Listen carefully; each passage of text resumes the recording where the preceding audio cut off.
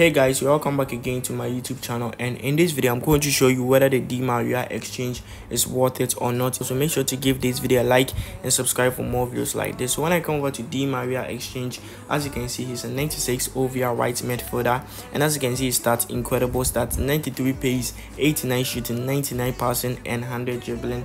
And to get him you need eight tokens and for every single token it will require you some requirement to complete. So just do it or up to the last one which is the eighth token and you'll be able to claim this Di Maria card. And this exchange is really really worth it because it's going to cost you around 30 to 35 million. And when I check in the market right now let me just check in the market right now for you guys to see something. When I check in the market right now 94 right midfielders are going for high prices. As you can see Dembele is a 94 OVR he's going for 50 million. We have Sane he's going for 40 million. We also have Cole Palmer he's going for 31 million. And if you even check this 96 Di Maria even have similar stats to Dembele to um Sane but they are overpriced. And this 96 Di Maria card is going to cost you 35 to 37 million or even less than that. So i think this exchange is worth it. So i would recommend you guys